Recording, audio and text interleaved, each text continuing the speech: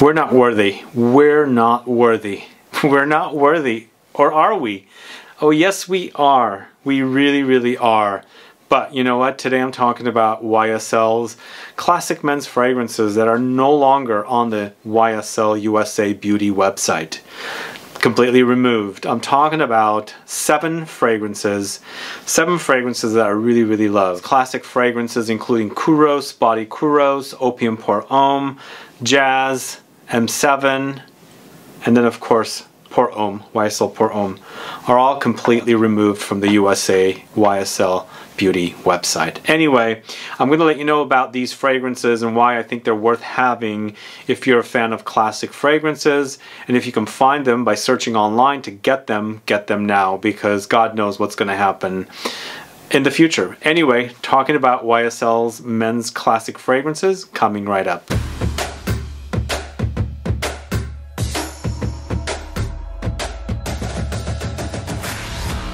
Thanks so much for tuning in. This is Sebastian, and yes, today I'm talking about YSL's classic men's fragrances.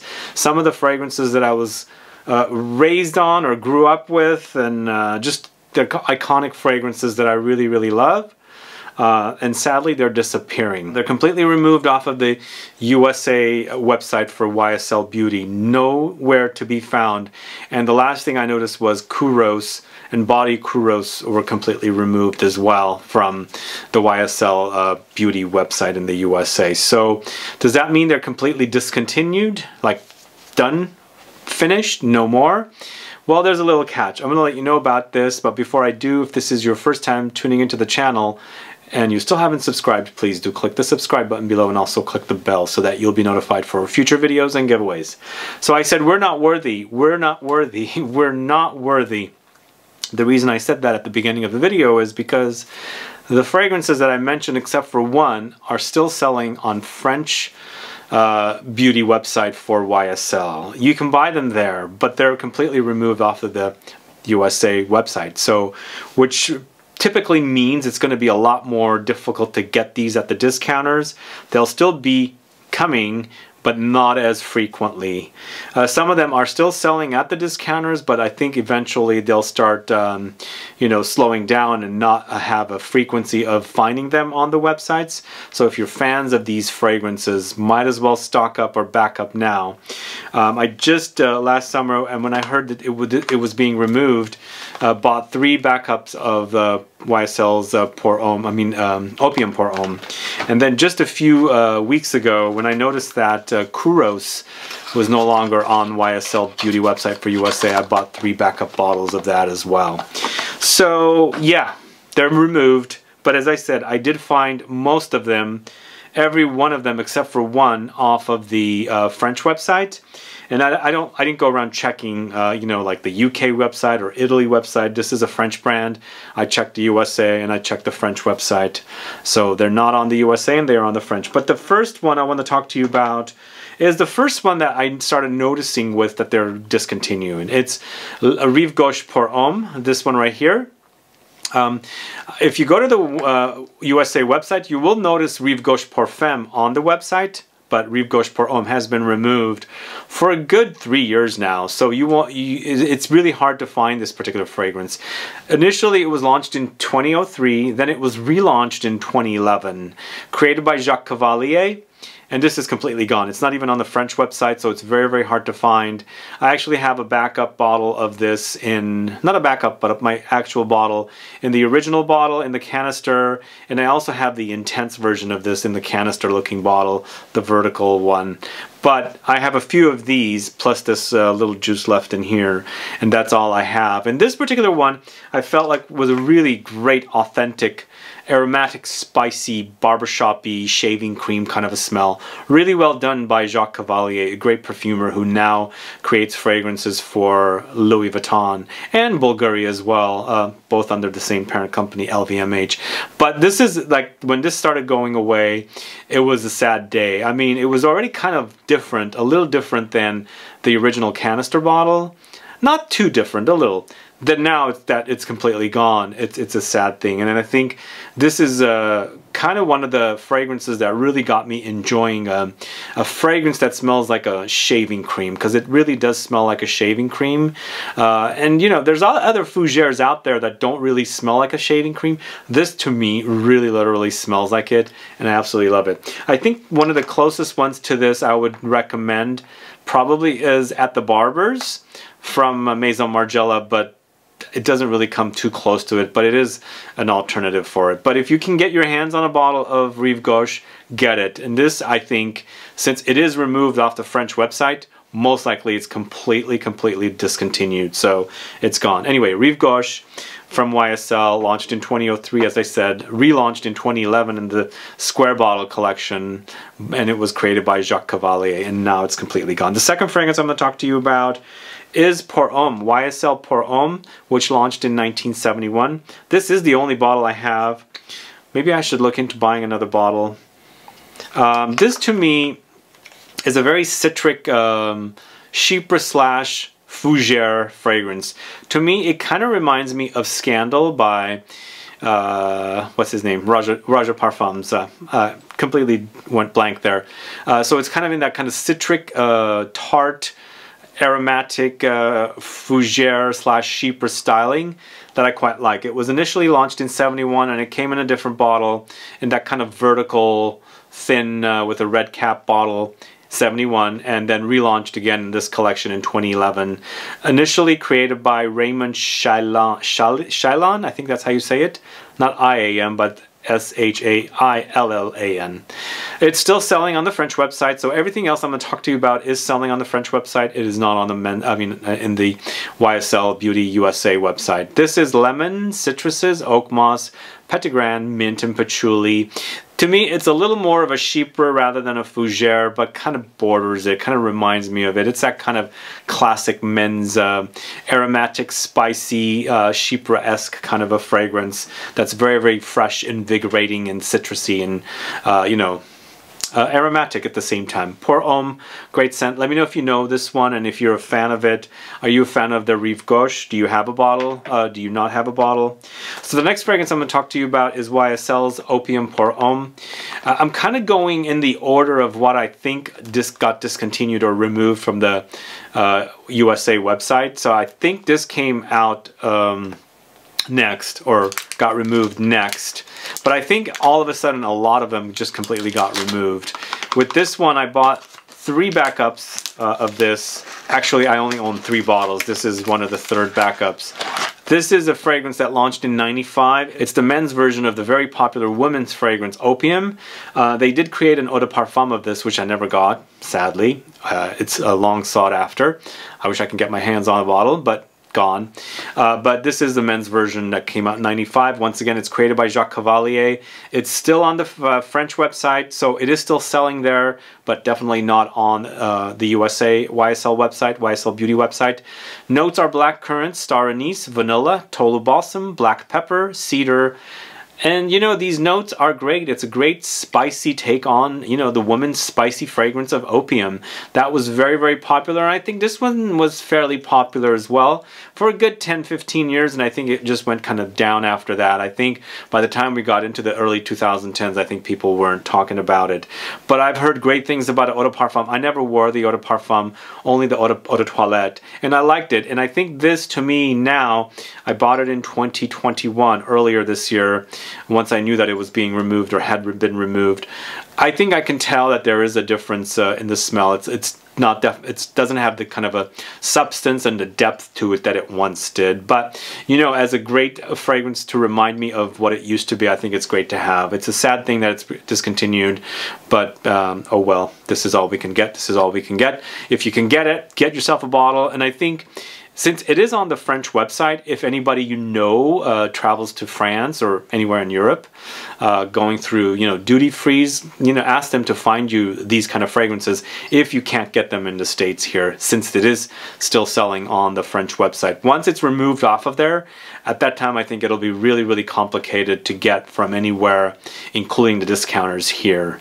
But it's interesting that Jacques Cavallier has done multiple fragrances for some really great men's classic YSL fragrances, including uh, YSL Opium Pour Homme. So that is uh, from 1995. And again, as I said, it's not on the YSL USA Beauty website, but it is on the French website. All right, up next, going to YSL's Jazz from 1988.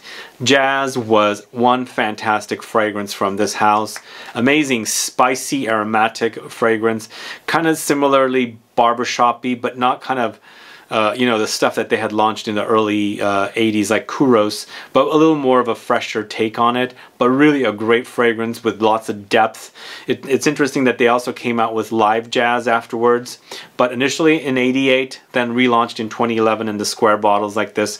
It's interesting, I'm not sure why they didn't launch Kouros in the in the bottle like this. I think this bottle is pretty iconic. That's why they probably left it in there. And the same thing with um, the pour, uh, the Opium Pour Homme. Why didn't they move that into this square bottle collection? Maybe the bottle is iconic, but I don't find it as original or iconic as the Kouros bottle. But going back to YSL Jazz, uh, a great fragrance, amazing fragrance that I think you can totally notice if you have a, a, vintage bottle from 1988 to this particular square bottle. It's very thin here, but still a kind of a an image of what it used to be, a lighter image uh, version of the uh, original fragrance. So initially 1988, relaunched in 2011, created by Jean-Francois Lati, uh, and yes, it is still on the French website, and it features notes of coriander, geranium, artemisia, cypress, and patchouli. Interesting, I don't see coriander come up too much, although I see it a little more than something like carnation. Carnations I rarely see in fragrances. I think it's kind of an old school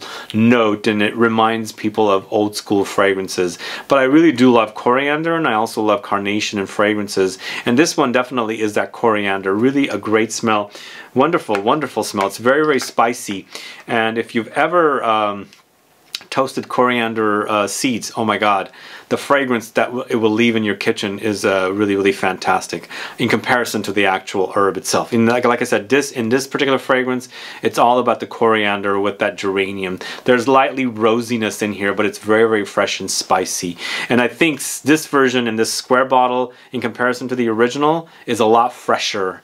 The denseness has kind of, you know, been removed uh, because it got reformulated uh, from 19, 1988 to 2011. Anyway, YSL's Jazz, as I said, it's still selling on the French YSL Beauty website, but no longer on the USA website. If you can get a bottle and you're looking for one, get it. God knows what's going to happen if uh, once it's removed from the um, French website as well. All right, next fragrance is YSL's M7, one of the very first mass market uh, oud fragrances, and it's targeted to men, and I find this to be very unisex because oud is very very unisex in as a note it's always in unisex fragrances. So uh, this even though it's targeted to men as I said uh, I find it to be fairly unisex. Initially launched at in 2002 during Tom Ford's uh, time at uh, YSL uh, it was created by Jacques Cavallier once again along with Alberto Morillas yes two great uh, perfumers together creating one of the uh, best fragrances ever made but sadly it's removed off of the USA YSL beauty website. It is on the French website as I said so it's still selling but God knows the timing I mean like God knows how long this particular fragrance will still sell and if it's going to be removed. I find it to be a very easy to wear oud it's definitely not funky. It's uh, you know, it's got the oudiness, the woodiness, but it doesn't get funk in there. So you've got lots of oud here with oranges. So there is a kind of a ambery orange uh, citrus touch along with myrrh. So it's resins, the patchouli, that earthiness, the sparkliness, and then of course the labdanum. I feel like the labdanum uh, gives you that ambery smokiness, the orange, together with the myrrh and patchouli. They work really, really beautifully. It's a very easy oud fragrance to wear. And uh, I think there is some differences between the original M7 and this particular fragrance, but I think it's really, really a great designer offering for oud. And again, as I said, it's definitely very unisex for me, not masculine leaning whatsoever. Uh, and it's sad that it's no longer on the USA website. But as I said, it, it's still selling on the French website. God knows how long it'll be there. If you're a fan of it, get yourself a black, uh, backup bottle. I think I have this and I have one more somewhere and that's it. I don't need more. Uh, I, I, love it. I enjoy it. I love the way it smells. It's great. Uh, it's got kind of a freshness about it, even though it's lots of deep notes. You know, oud and myrrh and patchouli, labdanum. They're all kind of very, very deep notes, but it doesn't act very heavy, if that makes sense. It's a designer after all. Anyway, YSL's M7 launched in 2002, then relaunched in 2011 in that collection created by Jacques Cavallier and Alberto Morillas, uh, while Tom Ford was uh, running YSL Design House. Okay, the next fragrance I'm talking about is YSL's Body Kouros. It's funny, I've never spoken about it, if at all. Maybe I have spoken it on this channel early on when I relaunched this channel, but this is a fragrance I used to speak about a lot on the older channel. And I just took it out and I sprayed it. This bottle is from 2011. Still smells great today, but sadly it's been removed off of um, the YSL USA Beauty website, but it is on the French website. And I don't know what it smells like, but to me, this version smells really, really great. I bought it in uh, 2012 but I believe this bottle was bottled around 2011. It could be 2010. And as I said, it smells really, really great. This was an, uh, like a new take on Kouros, and it's a kind of a, a, take on with resins and eucalyptus and some incense. So there's a resinous, smoky, kind of camphoric touch to it that's quite nice. And as I said, I just sprayed it before I'm shooting this video, and I'm really loving the way this smells. It was a great fragrance. Launched in 2000, never rebottled into a new bottle like the other collection fragrances kept in this bottle because as I said I think this bottle with the original Kouros is a pretty iconic bottle and I think that's why they left it in this collection. Created by, did I say Annick Menardo created it and I used to be a big fan of her fragrances, loved her creations and she did a great job with this. This is probably around the height of her presence as a perfumer. She doesn't do much now although she's been doing a few things here and there but she did a lot around the late 90s uh, towards the 2000s and on into the early 2010s. Uh, so this is still on the French website as I said. It features benzoin, eucalyptus, incense, cedar, clary sage, great resinous, smoky, camphoric green. Uh, you know, aromatic experience. I love it. It's totally different than the original Kouros. So night and day different, but a really great creation. Great men's designer fragrance that's I think slowly going to be disappearing. So get yourself a bottle. This is Body Kouros from YSL from 2000, created by Annick Menardo. And the last fragrance I'm going to talk to you about is Kouros, the original, launched in 1981. And as I said, I did this video in the order of I think which fragrances got removed off of the uh, YSL USA website. I was kind of going back there over and over again to see, and now this is off of there. Although when you search uh, there, in the fragrances section for men, you click on it and it says no item by that name here. So they just removed Kouros off of there.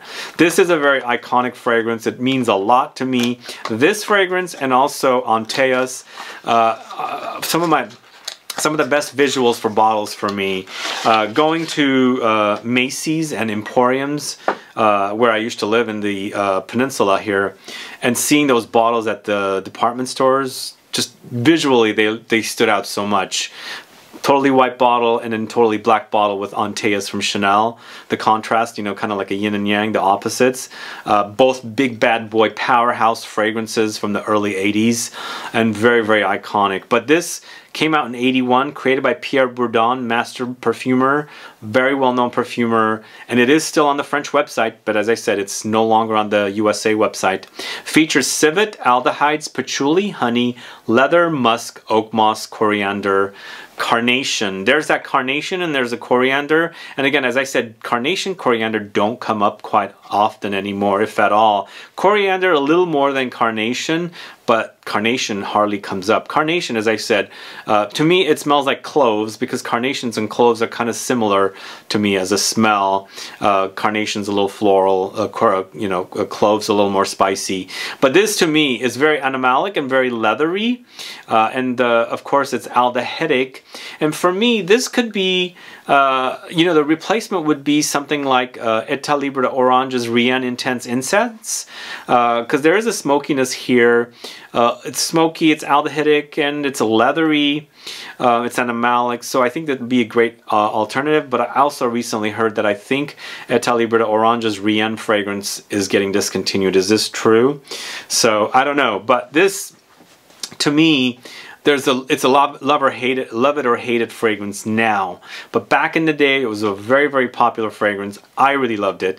Dad wore it. I stole sprays from it, and to me, even though it doesn't smell like it used to, I think it's a great reminder of what a great fragrance this once used to be. It's sad it's no longer in the USA website. It's sad all these are removed.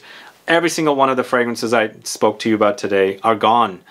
And soon they'll probably be gone from the French website. Uh, I don't know how long they'll stay there, and that's the reason why I'm doing this video. If you guys are fans of these fragrances, get yourself bottles because Rive Gauche is completely removed, absolutely gone.